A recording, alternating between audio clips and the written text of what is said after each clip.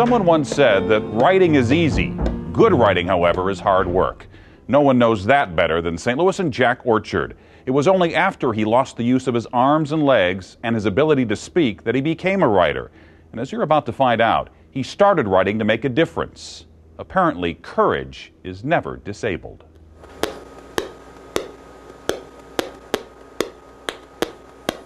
The eyes are never silent. With just a glance, they can say a lot.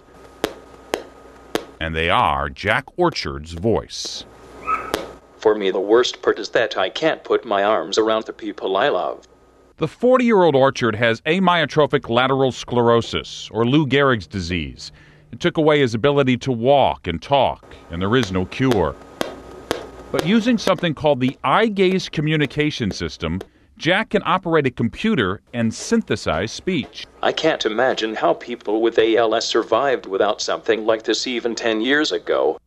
Before his world was turned upside down, he was doing the same to the world. Orchard had an economics degree from Harvard, an MBA from Stanford, and he was jetting back and forth from Russia as an investment banker. When he was diagnosed in 2002, he was told that he had three to five years to live, and there was nothing he could do about it. But Jack Orchard did do something about it. Well, every day when he gets up, as soon as he's up and ready, he's at his computer.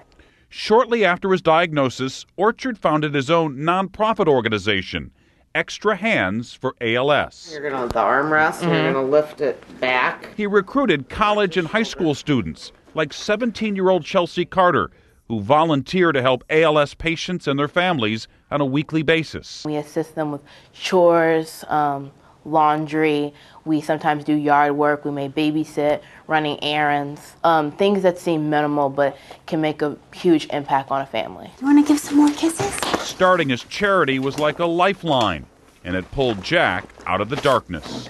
When I came out of that tunnel and launched Extra Hands for ALS, I lost all of the pain of my condition. Ready to go?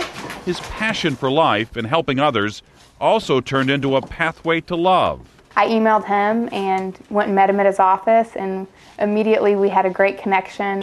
And to make things more 27 year old Kristen Williamson was looking to raise money for a charity that helped patients with ALS after her best friend's father died of the disease. I just really admired how he didn't let anything go. You know, he really lived in the moment and made the best of his life. He can't speak, he can't use his hands, and yet Jack Orchard has this positive attitude.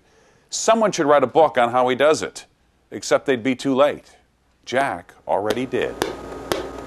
He's able to type 35 words a minute just by looking at the control keys on his monitor. And determination helped him succeed where so many able bodied people have failed. I decided to do it because I had found a way to give myself some peace through my work on my charity, Extra Hands for ALS, and I wanted to share my discovery. And Jack hopes his book, called Extra Hands Grasping for a Meaningful Life, has lessons for everybody. The overall message is everyone can make a difference in someone's life. You know, everyone's life can be meaningful. You just have to find what that is and do it. That was a fun night. We were like the last people out of Riverport. And it turns out the eyes can sometimes paint a better picture than a paintbrush. When my time comes, I would like to be surrounded, one way or another, by the people who have meant so much to me, who have shaped my life. Stop that. The future, of course, is never guaranteed. And while he's not expecting to be here even a year from now, Jack Orchard says he'll make the most of whatever time he has left. And for any of us, those are words to live by. But there is so much left to do. So for now, back to work.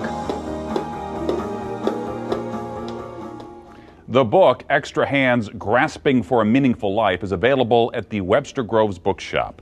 People who read the bestseller Tuesdays with Morrie tell me Jack's first person account touched them in a similar way. You can also help Extra Hands by participating in their costume fun run on May the 3rd. And for more information, we can link you to their website when you click on this story on our website at ksdk.com. And as always, if you have a unique positive story, let me know at mbush at ksdk.com.